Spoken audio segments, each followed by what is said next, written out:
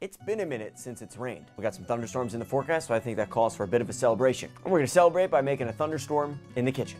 Well, kind of. We're gonna do a quick little experiment that shows the basic, essential ingredients that make up a thunderstorm.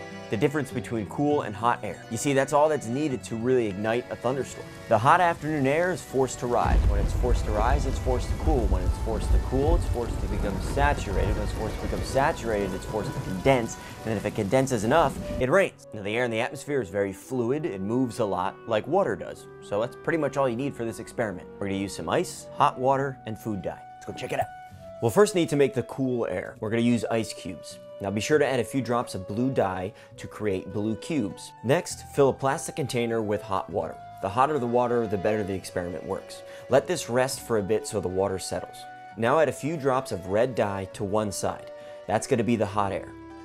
And then place a few cubes on the other side. That's gonna be the cool air. Notice how the blue sinks to the bottom and the red rises to the top. Cool air is heavier than hot air, so it's forcing the hot air to rise. That vertical movement is what we call convection. It's the essential ingredient for a thunderstorm. The more convection there is, the bigger and stronger a thunderstorm will be. Eh, if anything else, the colors are just fun to watch.